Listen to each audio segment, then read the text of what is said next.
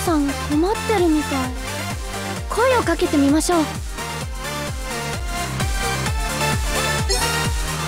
お寿司は好きだけどわさびが苦手だから人と行くのはちょっと恥ずかしいのよね。ヤシの実の器でココナッツのジュース飲みたい。決めた。今からみんなで南の島に友達とカラオケに行くとたくさんリクエストをいただくんです。他の子が上達してるのを見ると私も楽しくなってくるんだ。最近ムニちゃんにゲームを教えてもらってるんだ。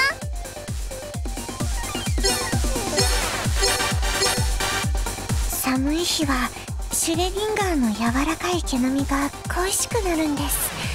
元気にしてるかな？あ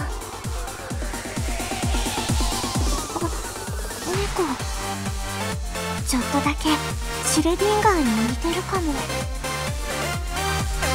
家に一人でいると時々誰か来てくれないかとそわそわしてしまいます。